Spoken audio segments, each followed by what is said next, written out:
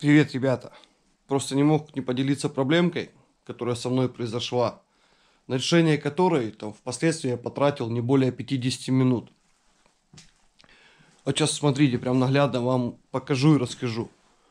Приехал я в магазин, ну, все хорошо, так вышел, сигнализация, сигнализация у меня Пантера.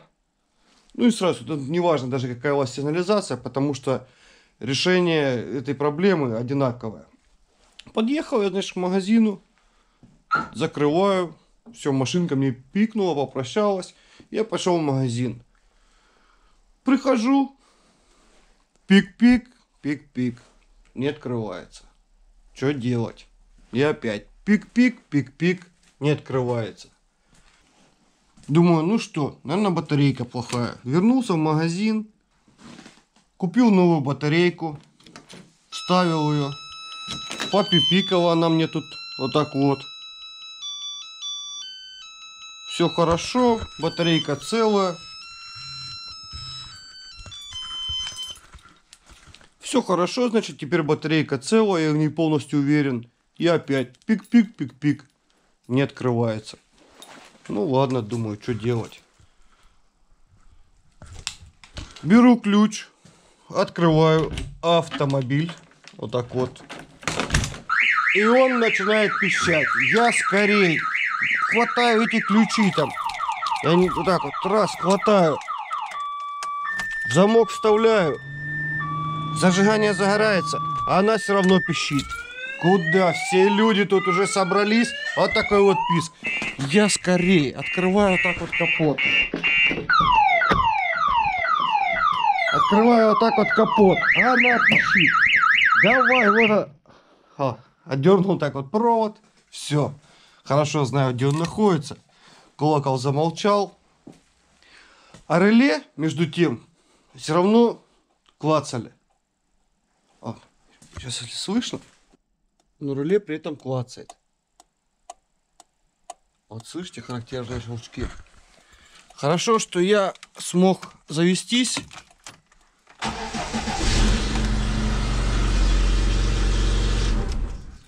Вот так вот завелся и доехал до дома с этим клацающим реле. Приехав домой, еще раз спокойно я достал батарейку. У меня получилось ее еще раз закрыть.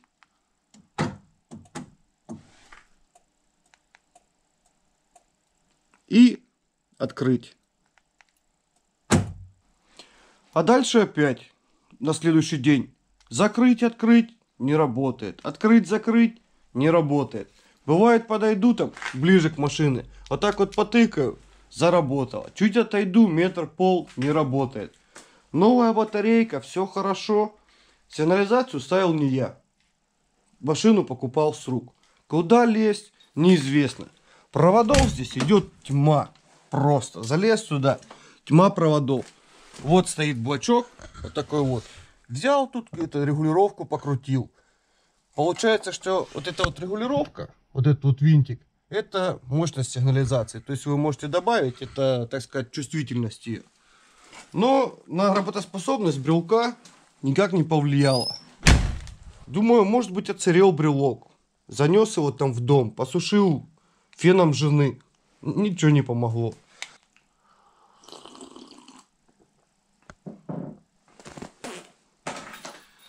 В общем, плюнул я на это все дело и начал закрывать машину с ключа. Хотя заключ... закрывать машину Ниву с ключа в мороз с замерзшей личинкой, это вообще крайне неудобно. Я ее даже, бывает, и не закрывал. Ну, проблемы-то на этом, ребят, не закончились. Вот этот вот брелок начал мне пиликать. Причем произвольно. Лежит, лежит. Белим-белим. Я его пик-пик. Пойду.